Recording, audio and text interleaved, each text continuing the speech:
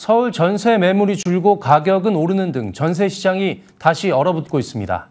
각종 규제로 부작용이 생긴 데다 정부의 도심 주택 공급도 속도를 내지 못하면서 전세난이 재확산할 거란 우려가 커지고 있습니다. 강은혜 기자의 보도입니다. 서울 아파트 전세 매물이 급격하게 줄어들고 있습니다. 최근 서울 아파트 전세 매물 건수는 2만 1,200여 건으로 한 달 전보다 4.5% 줄었습니다. 1년 전과 비교하면 반토막이 났습니다. 공급이 부족하니 전세값은 고공행진 중입니다. 지난달 서울 아파트 평균 전세값은 6억 원을 넘겼는데 문재인 정부 출범 이후 4년 동안 44% 치솟았습니다. 지난해 계약갱신 청구권과 전월세 상한제를 골자로 한 새 임대차 보호법이 시행되면서 직격탄을 맞았습니다. 여기에 전월세 신고제까지 더해지면서 수급 불균형이 심화되고 보유세 부담에 전세를 월세로 돌리는 다주택자까지 늘어나 전세난이 본격화될 것으로 전망됩니다.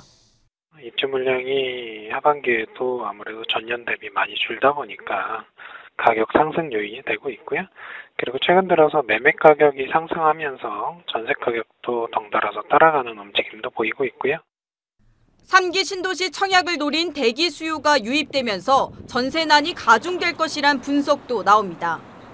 집값과 전세값 안정을 위해선 도심에 많은 주택을 공급해야 하지만 정부 대책은 속도를 내지 못하고 있는 상황.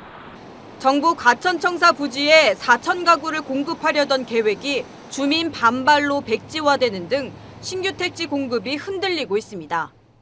지자체에 대한 반발이나 주민들의 어, 반발들이 굉장히 커졌기 때문에 그런 그 대기 수요들이 늘어있는 상황에서 공급까지 이어지지 못하다 보니까 도시만의 재개발 재건축 안에서 뭐 공급 물량을 좀 늘릴 수 있는 방안들, 뭐 인센티브라든지 뭐 용적률 상향들 공급 갈증과 정부 규제 풍선 효과로 전세 시장이 얼어붙으면서 전세 대란 악몽이 재현될 것이란 불안감이 커지고 있습니다. 머니투데이 방송 강은혜입니다.